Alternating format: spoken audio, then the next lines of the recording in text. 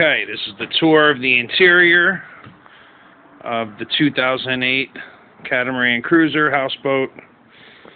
Have two leather couches here in the front. Nice little table. This is the bar.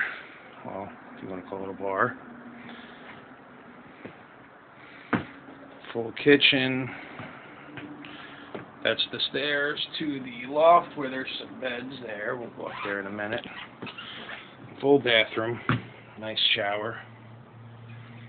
Perfect. Bathroom, toilet. Nice little vanity. Master bedroom.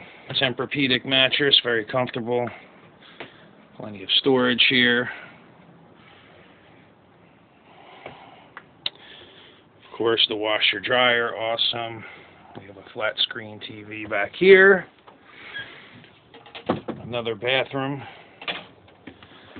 And we have our back patio with a great view of the bridge. That gets closed.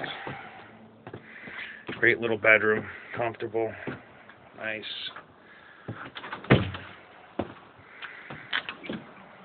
And again, this is the outside up top.